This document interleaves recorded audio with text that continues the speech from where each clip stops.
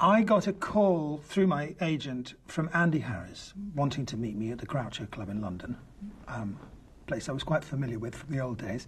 And I was very excited about that. I didn't know what it was about, but I did know Andy by reputation because he'd done some fabulous things. He did you know, The Queen and The Deal and um, The Damned United and some wonderful television, especially Wallander, which was out um, at that time.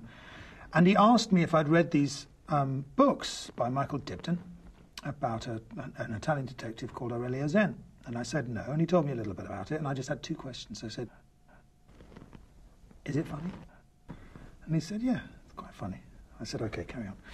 And that was for me the most important question. If I was going to be involved in a series, that it was something, not that it needed to be slapstick, but not something where I had to mask off a whole large part of myself. I'm not suggesting that I'm hilarious, but just my sense of humour is a very important part of me. And if I'm going to be playing something with which I become identified, I want to be able to use a lot of myself. So I read the books and was delighted the, in the character and how much scope there was and how many different Zens there were, you know, like a lot of real people. Um, he was different things to different people and different things in different books and at different times. So he produced a script that was um, written by Stephen Burke, and it was really exciting. That's when it really started cooking because I read it and I could imagine doing it. And somehow his, Stephen Burke's reaction to the books was the same as mine. It was funny. And it had a zip and a kind of screwball quality to it that was really exactly what I'd hoped.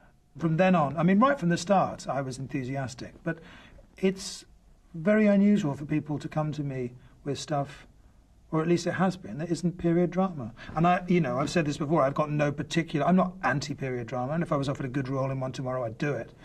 But is it something I'm fond of? No, I don't really care. I don't care what, what I'm wearing. As far as I'm concerned, I'm more excited about doing modern stuff because I've done less of it.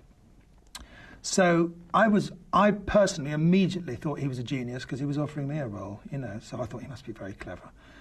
And from then on, it's just developed. And we went to Rome and we were there for four months. And uh, I had tremendous fun doing it. And they're actually fun to watch as well.